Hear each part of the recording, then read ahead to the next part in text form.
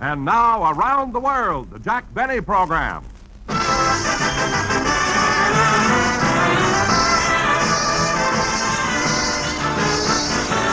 Jack Benny with Mary Livingstone, Rochester, Dennis Day, Bob Crosby, and yours truly, Don Wilson.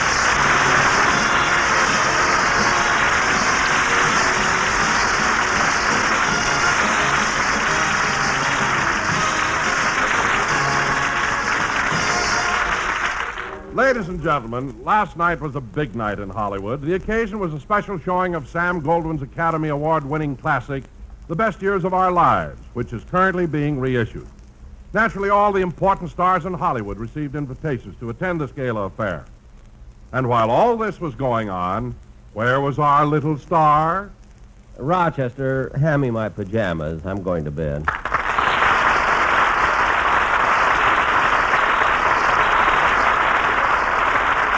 Just turn out the light and I'll go to sleep. Don't you want me to read to you like I always do? Well, yes. Pick up one of those trade papers, either the Variety or the Reporter or the Wall Street Journal. And... Okay, I'll read Variety. Okay. Now, let's see. Say, boss, look what it says. What? Tonight at the Academy Theater, there will be a special showing of Sam Goldwyn's Best Years of Our Lives. I know, I know. It's a reissue. I know. It says all the big stars in Hollywood have been invited to attend. Yes, I know. Didn't they mail you an invitation? Well, frankly, I don't know whether they did or not. Anyway, who wants to go to those special Hollywood showings? You always see the same people. Lauren Bacall will be there with Humphrey Bogart. June Allyson will be there with Dick Powell. Zsa Gabor will be there with Jerry Giesler.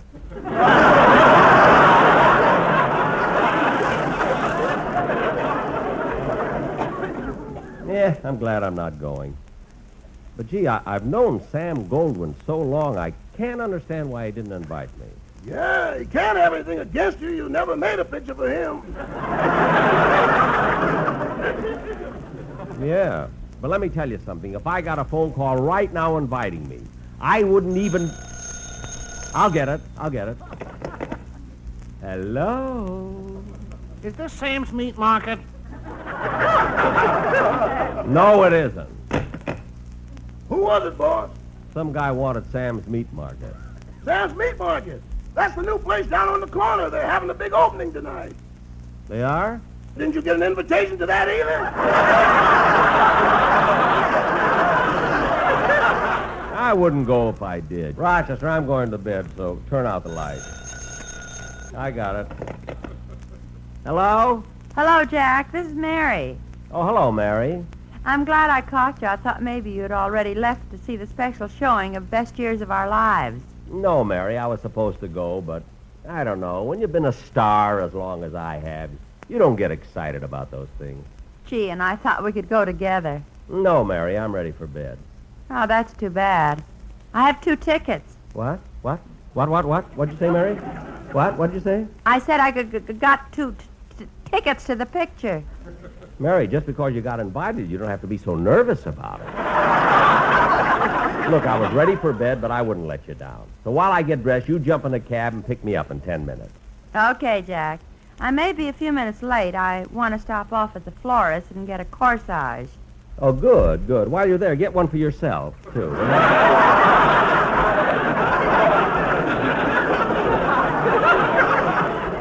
I mean, come over as soon as you can. Goodbye. Hey, Rochester. Rochester, I'm going to the opening. I knew Sam wouldn't let you down. Not the meat market. Stop jabbering and help me dress. Hello, Jack. Uh, the door was open, so I came right in. Oh, hello, Bob. You going somewhere? Oh, yeah, I promised Mary I'd take her to a special showing of the best years of our lives. Now, pardon me while I get dressed. Well, I'll help you, Jack. While you're putting on your shirt, I'll button your shoes. Thanks. oh, Rochester, hand me my wing collar, will you, please? Yes, sir. Uh-oh. What's the matter? You wear a size 15 and a half collar, and this is only a size 14. Oh, that's all right. We can make it work. Put it on. Okay. Here's the collar button. Now, hold still. Boy, this collar's really stiff. Just a minute now. There. I got it. How's that, boss? I guess it's all right, but It's so tight I can hardly. oh, darn it. It slipped off the collar button. Try it again, Rochester. Boss, this collar's pretty tight for you. Well, pull it harder. I'm getting it. I'm getting it. Hold still. There. Gosh, this collar's so tight I can hardly breathe.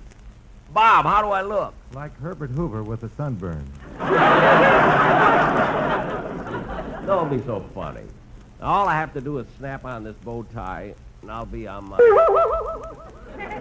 Darn it, there it goes again. Rochester, where's my bow tie? It went out the window and headed for Capistrano.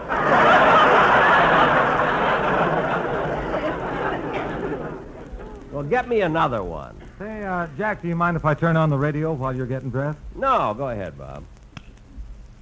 Let's see. I think I better get a fresh handkerchief.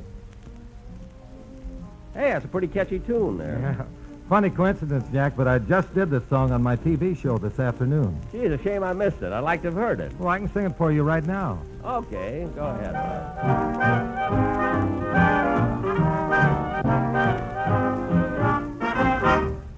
Heart of my heart, I love that melody. Heart of my heart brings back a memory. When we were kids on the corner of the street. We were rough and ready guys, but oh how we could harmonize. Remember, heart of my heart, meant friends were dearer then. Too bad we had to part. I know a tear would glisten if once more I could listen to that gang that sang Heart of My Heart.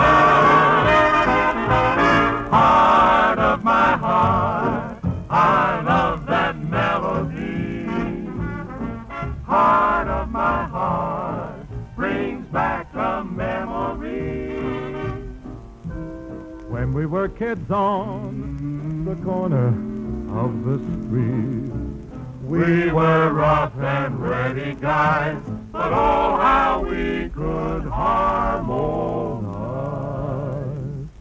Remember, heart of my heart, meant friends were dear then. Too bad we had to part. I know a tear would glisten if once more I could listen to that gang that sang Heart of My Heart, Heart of My Heart, and to that gang that sang Heart of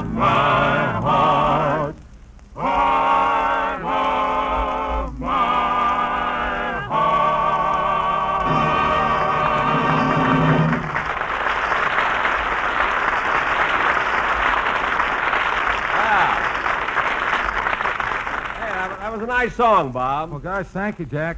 I, I think I better be running along. Well, so long. Oh, by the way, Jack, if you're not going anyplace else after the show, why don't you take Mary down to the Cinegrill where Frankie Remley's band is? No, no, I think I'll be too tired. Oh, well, I'll be going over there tonight, and we might have a lot of laughs. I'll bet that Mary would enjoy it. Probably, Bob, but she ought to get to bed early, too. After all, we have a rehearsal tomorrow and a hard day ahead of us, and we all ought to get a good night's sleep. Well, okay, but well, the only reason I mentioned it is because the manager of the Roosevelt Hotel called me, and he said that since Frank Remley works on your program, he'd like to have us all as his guests.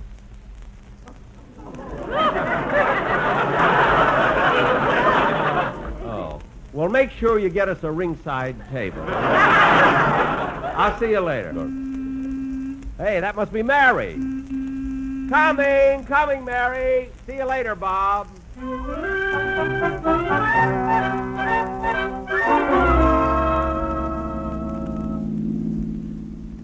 Hey, this must be the theater. The Best Years of Our Lives, starring Fredric March, Myrna Loy, Dana Andrews, and Teresa Wright. Look at all the lights. There you are, folks, the Academy Theater. Come on, Mary. How much is that, driver? A dollar sixty.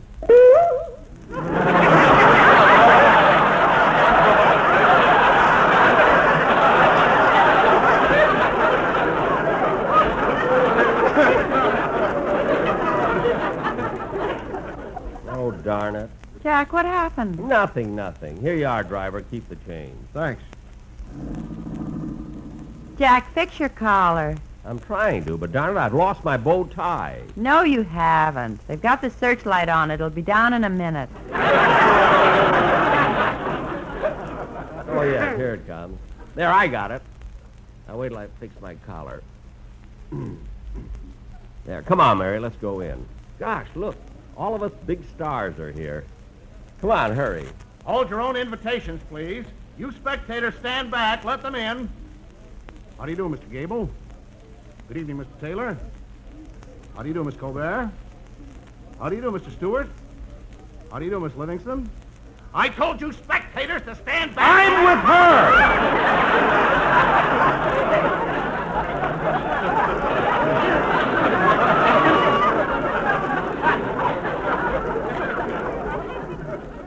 Oh, well then, go right in, mister. Hmm, Mister. Doesn't even know I'm Jack Benny. Well, don't tell him, and he'll have something to look forward to. What? Come on, Jack. Hurry. The lights are starting to dim. Okay. Hey, Mary, here are two, right in this row. A little more than, than halfway in. Two seats there. Follow me. Pardon me. Pardon me. Pardon me. Pardon me. Pardon me. Pardon me. Pardon me. Pardon me. Pardon me. Pardon me. Pardon me. Pardon me. Pardon me. Pardon me. Oh, darn it, there's only one seat.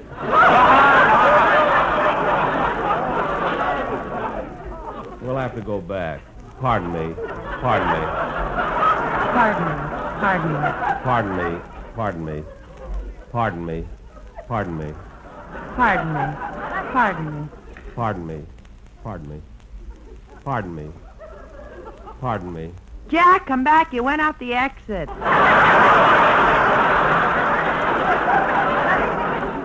Oh, yes. Here we are, Mary. Here are two seats on the aisle. Good, and we're just in time. The picture's just about to begin.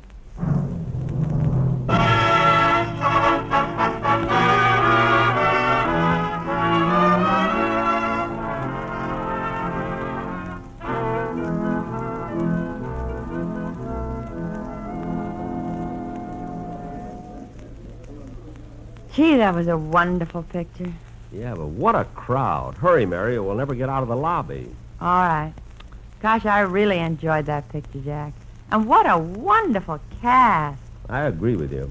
Only I couldn't exactly accept Fredric March's conception of the husband. I personally would have done it differently. Jack, look. There's Sam Goldwyn coming towards us. Where? Oh, yes. Hello, Mr. Goldwyn. Hello, Mary.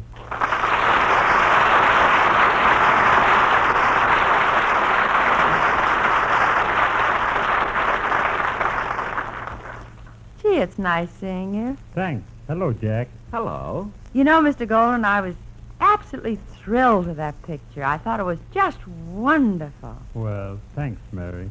What did you think about it, Jack? Oh, I thought it was fine, excellent, but I was just telling Mary that the part that Fredric March played was almost a natural for me. Jack. It's funny you should mention it, Jack.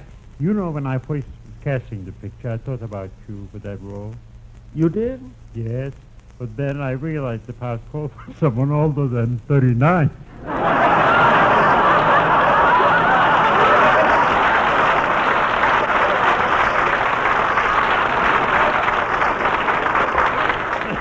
Well, for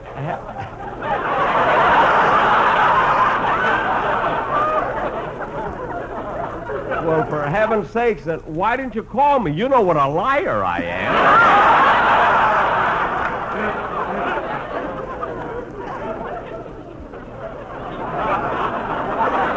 After all, the picture was made seven years ago. I was older then. I mean, younger.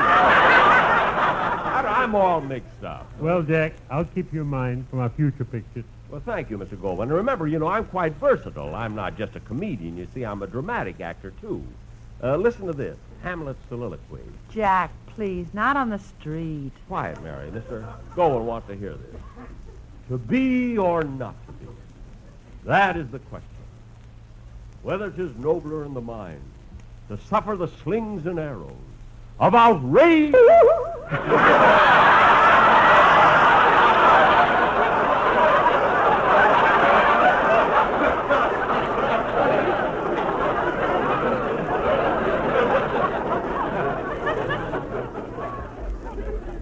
oh, there goes my collar again. Where's my bow tie? I swallowed it.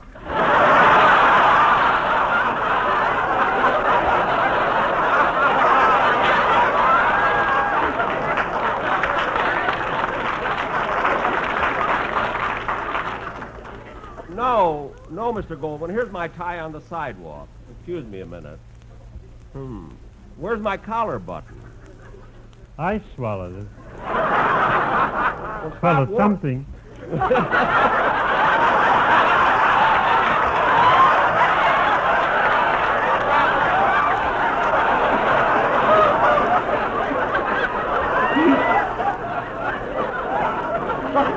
Stop. Stop worrying about Mr. Goldwyn. It's nothing serious. I've got another one in my pocket. Say, Mr. Goldwyn, Jack and I are going over to the Cinegrill for some dinner and a cocktail. How about joining us? Oh, I'd love to, Mary. But I've got another big opening tonight. Another picture? No, Sam's Meat Market.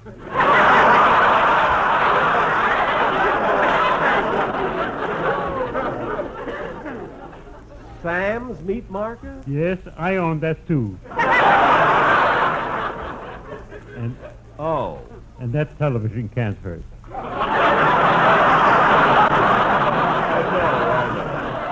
Oh, come on, Mr. Golden. Why don't you join us? We'll have some fun. Well, Certainly. And I'll tell you what, Mr. Goldwyn, you and Mary can be my guests. your guest, Yes, I'll pay for everything. Mary, we better go. This will be the best year of our lives. Yeah. Come on, let's go.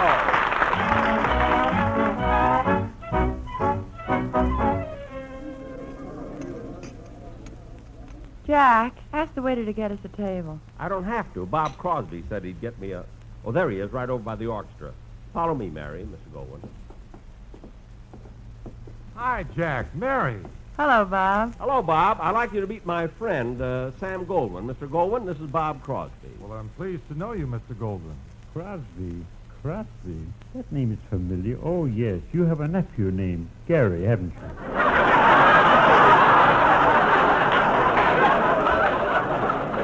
Yes, yes. Come on, let's get seated. Gee, the place is kind of crowded tonight. Remley really packs them in, doesn't he? You're darn right. Well, let's get some food. I'll call the waiter. And remember, kid, you're my guest tonight, so order anything you want. Oh, waiter! Waiter!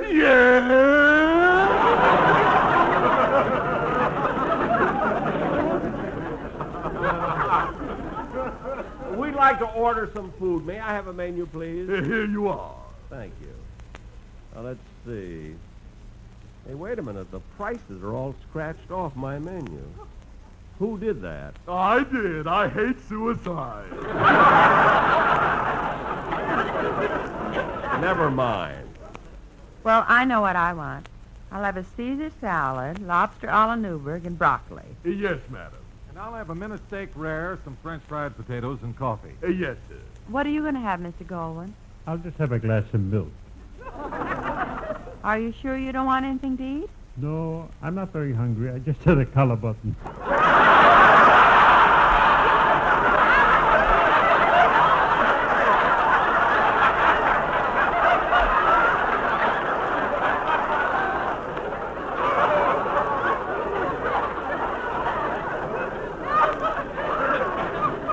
Uh, waiter, uh, Mr. Goldwyn, he'll just have a glass of milk. Well, I'm sorry, sir, but I can't serve milk at this table. Why not?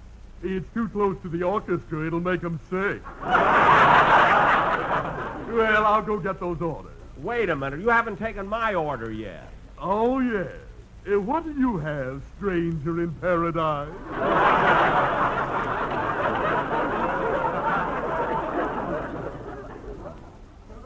I'll have the potage de jour at Salada avec Roquefort, at La Bouffe Bordelais at Pomme de Terre. Well, get him. Never mind, just bring what I ordered. And we'd also like some champagne with our dinner. What kind? I don't know, what would you suggest? Well, when it comes to champagne, I always say mum's the word. Waiter, that's a pretty corny joke. Well, what did you expect for $35 a week, Martin and Lewis? Never mind the wisecracks. You ought to pay a little more attention to your job. Some waiter. Look at this tablecloth and napkin. I've never seen such dirty linen. Well, you do them for us, Wong Fu.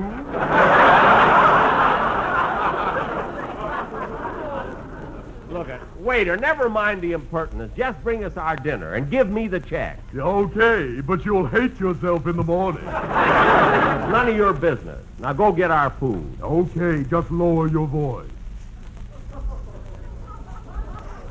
Mr. Goldwyn, Mr. Goldwyn, you can come out from under the table. People have stopped staring. Now let's all have a pleasant evening. Let's eat, drink, and be merry.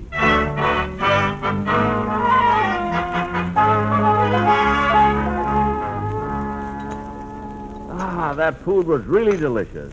Yeah, I enjoyed mine, too. Anything else? Dessert? Some champagne, Mr. Goldwyn? No thanks, Jack. Hey, will there be anything else? Uh, no, thanks. Well, here's your check. Uh, waiter, come here a minute. What? Uh, we're not supposed to get any check. We're guests of the management, see? I'm sorry, I don't know anything about that. The check is $35.60. Look, I'm telling you, we were invited here by the management. I'm sorry, but I've heard that one before. Look, do you think I'd tell you that if it weren't true? I'm Jack Benny. I don't care if you're King Farouk. what? I got a check here for thirty-five sixty, and you're going to pay it. I'm not going to pay it. Jack, for heaven's sake, you're creating a scene. Why don't you pay the check? You keep out of this, Mary. Now, waiter, get me the manager. The manager is gone home. Well, get me someone. I'm not going to pay this check. Jack, please, this is embarrassing. You keep out of this, too. you invite me to your preview, and then you come in here and stuff yourself at my expense.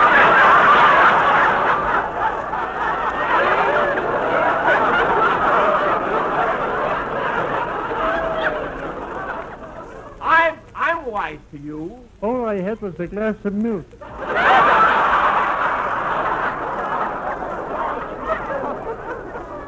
I care what you had. Let Fredric March pay for it. And let me tell you another thing. oh, darn it. There it goes again.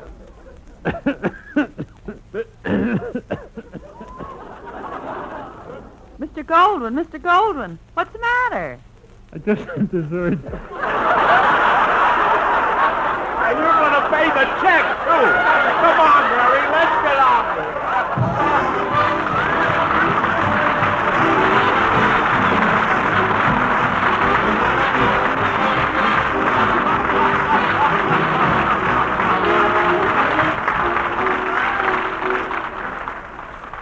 Friends, I'd like to ask you a question.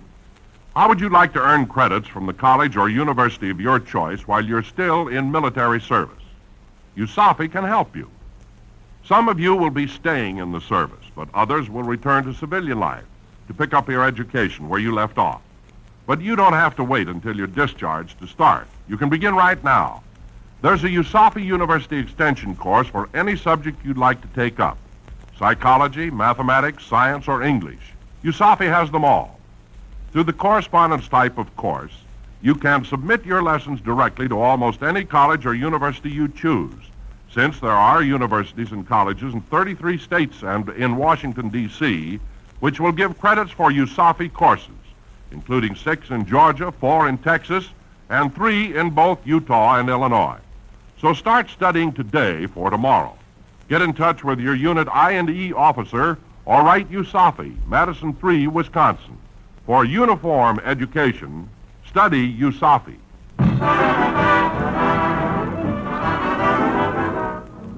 thank you very much, Mr. Goldwyn, for being on my program. Good night, everybody.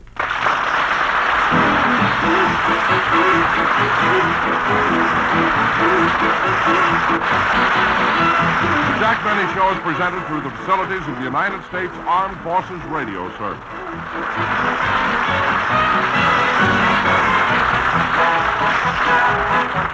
You've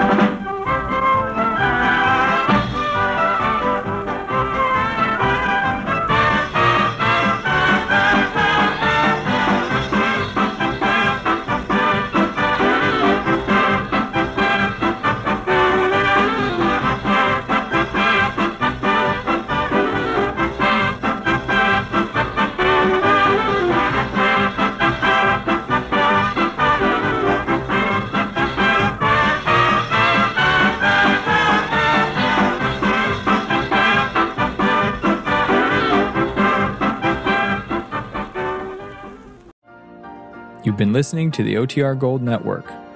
Find more classic radio at otrgold.com.